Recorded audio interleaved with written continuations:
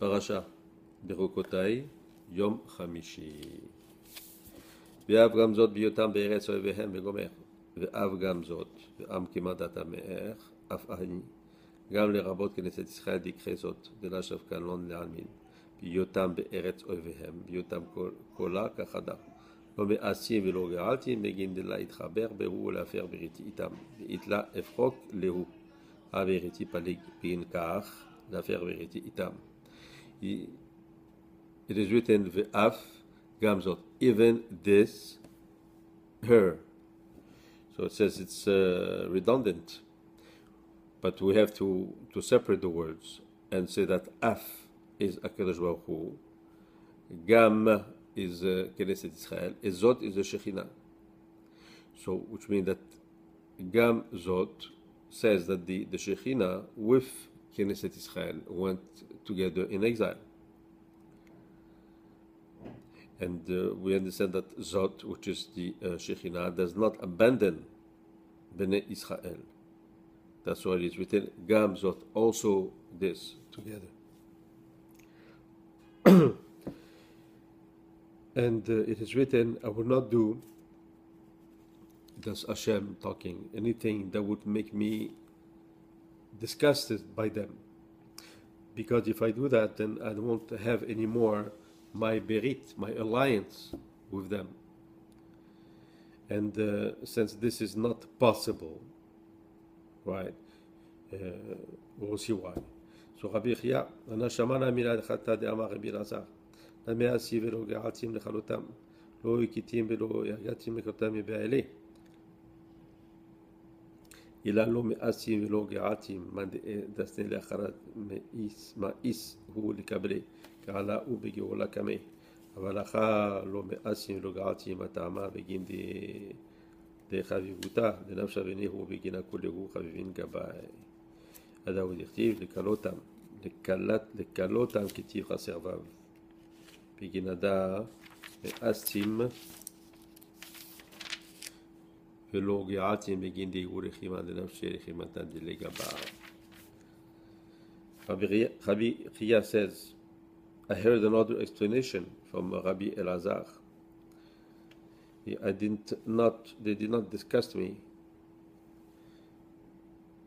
Says the, the wording is uh, is a bit uh, confusing. It says it is like someone that hates someone else.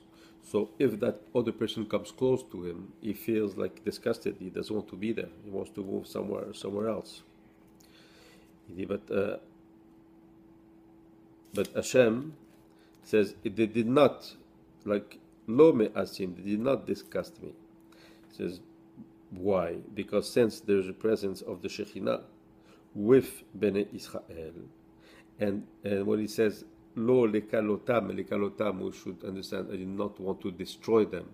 But lekalotam, the, the it's not with the vav, so we can read it lekalatam. Lekalatam means the bride, and the bride is the uh, the Shekhinah, right? The divine presence, the feminine divine presence.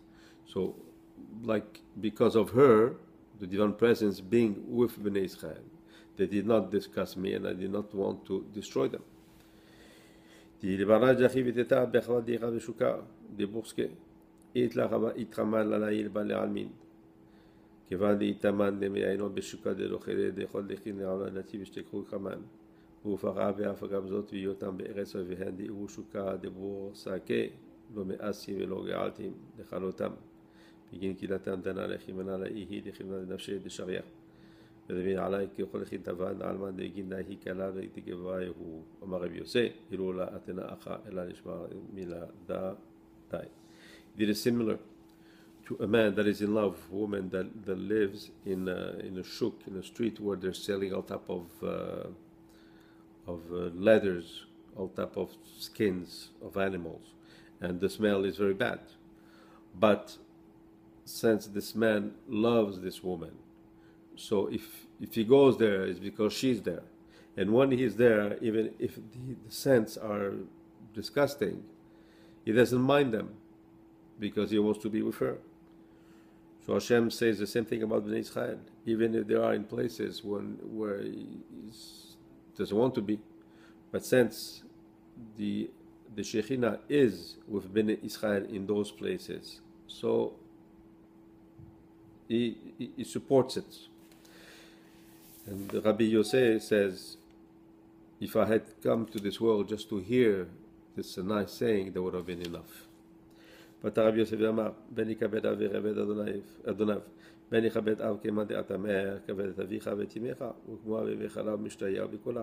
אביך יתייבא, בתר דמית איתמה הפטור מנהו, לבכי דאפר גב דמית תתייחד ביקרי יתיח, תכתיב כבד את אביך. Rabbi Yosef says, the son gives honor to his father, and the servant to his master. The son gives to to honor to his mother and his, his uh, to his father and his mother, as it is written.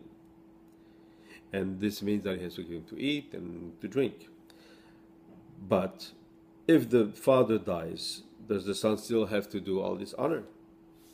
So it says yes. Because what the son does here will be good for the neshama, for the soul of his father or his mother.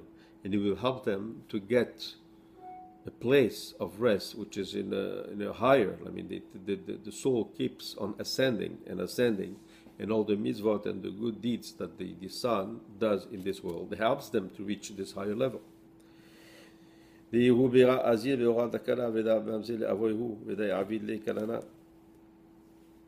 ואי ברא אזיל באורח משער ותקיף עובדו ודעת כוכי לאבוי kitlebehi alma yedeni nasha'u kitlebehu alma gebikucha bedihu.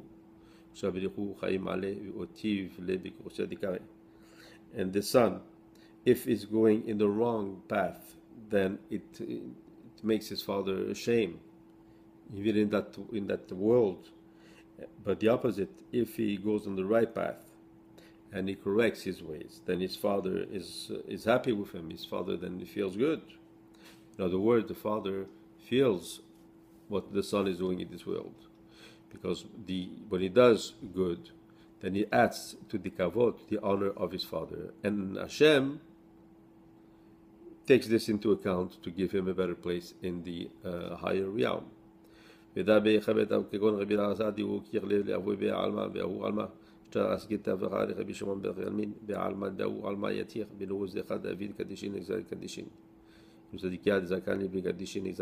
עלו יתקרא יכירו ברך השם אמן. We can see that with Rabbi Elazar, which was the son of Rabbi Shimon Bar Yochai, how much kavod he gave to his father, kavod to not only in this world but also to the world to come.